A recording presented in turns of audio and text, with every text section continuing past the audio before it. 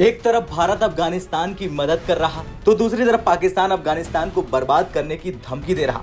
अब जैसे पाकिस्तान की ओर से अफ़गानिस्तान को धमकी दी गई, वैसे ही तालिबान ने पाकिस्तान को कह डाला कि अपनी हद में रहो और पाकिस्तान दलाली के लिए हमें बदनाम मत करो। अब जैसे ही तालिबान का ये बयान सामने आया, वैसे ही पूरी दुनिया में पाकिस्तान का मज़ाक बनने लगा।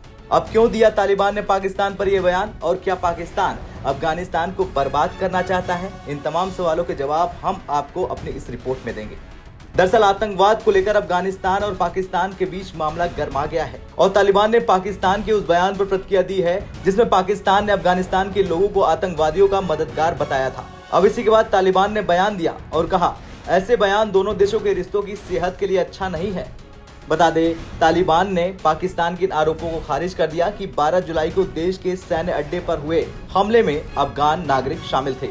तालिबान के प्रवक्ता जबीउल्लाह मुजाहिद ने कहा, इस तरह के दावे किसी भी देश या उसके लोगों के हित में नहीं है। अफ़गानिस्तान, पाकिस्तान समेत किसी भी देश के लिए खतरा नहीं है।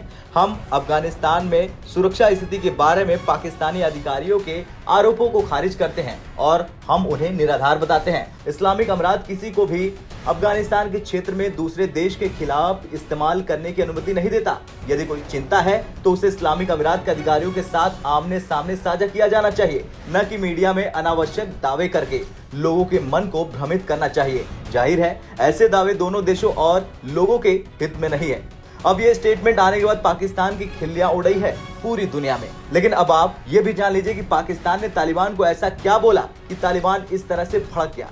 दरअसल, पाकिस्तानी विदेश मंत्रालय के एक कार्यक्रम को संबोधित करते हुए बिलावल भुट्टो ने कहा पाकिस्तान अफ़गानिस्तान के अंदर घुसकर इन आतंकवादियों के खिलाफ कार्रवाई करने के लिए मजबूर नहीं होना चाहता। लेकिन अंतर्राष्ट्रीय कानून के अनुसार हमें आत्मरक्षा का अधिकार है।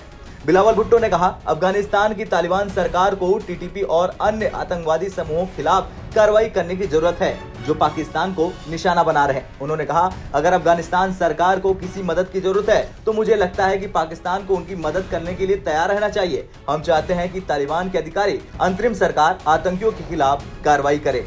खैर, कुछ भी हो, लेकिन ये तो साफ़ दिख रहा कि आतंकियों को पालना पाकिस्तान के लिए कितना खतरनाक साबित हो रहा। अब आपका क्या कुछ कहना है? तालिबान ने जिस तरह से पाकिस्तान को धोया, उसे लेकर कमेंट कर कर ज़रूर बताएँ। ब्यूरो रिपोर्ट, भारत तक।